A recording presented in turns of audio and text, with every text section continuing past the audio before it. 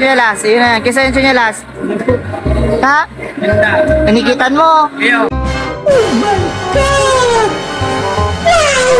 Sain. Yan, sa tikari ko sa mil. Tigkarigusan sain. Sa Bulagting. Sadam. Sa dam. Di ko aram kung kisa ini. Kinato na lang. Ay, buli. Muram kakasuwang ka kayo. No? Iyan po si nagkikit kan siya. Kung kisay man po yan, pinapangapudan ko na po. Ibabalik man po Danny J. Kaya lang dahil aram pong kisay yan. Ano masasabi yung hagad yung sinyalas sa mga nagdadalan? Pasensya na po. Babalik ko mo. Pero gagamit ko muna.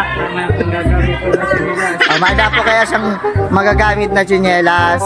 Gigamit ko. Oh. Nangangapudan po siya kung sisay po da dyan may ekstrang kwarta. Kung pwede da pong... Oh.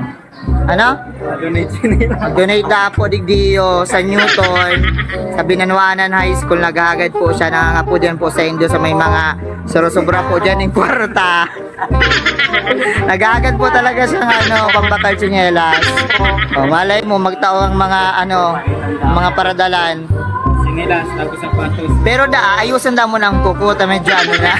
Malinig yan, sir. ay iyo malinig ang kuko niya oo. Oh, di ba mas malinig pa sa ano mo? Mas malinig pa sa mukha mo Jay. Kaya Jay. O kamon do magad mo kamon tsinelas ha?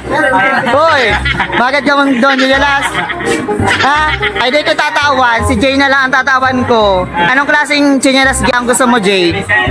Jay Adidas. Adidas anong kulay Ping. kulay pink iba ano yan spell kang Sir. spell kang pink o ayun na ula ay di ta katatawan spell mo na kang pink oh B-I. B. ano B. P. I. I N. K. O pink. O sige tatawan na no? Adidas kulay pink. Araw kayo ng design?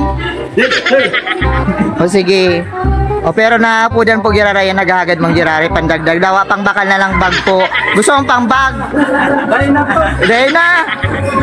O di lang. O sige